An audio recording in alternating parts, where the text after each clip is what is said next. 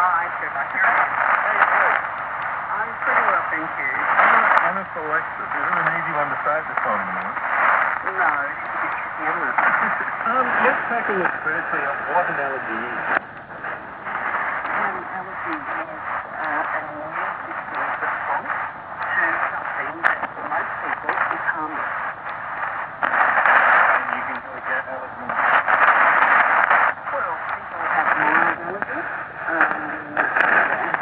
recently was heard about the extreme end spectrum where people can, um, die from a, uh, an allergy.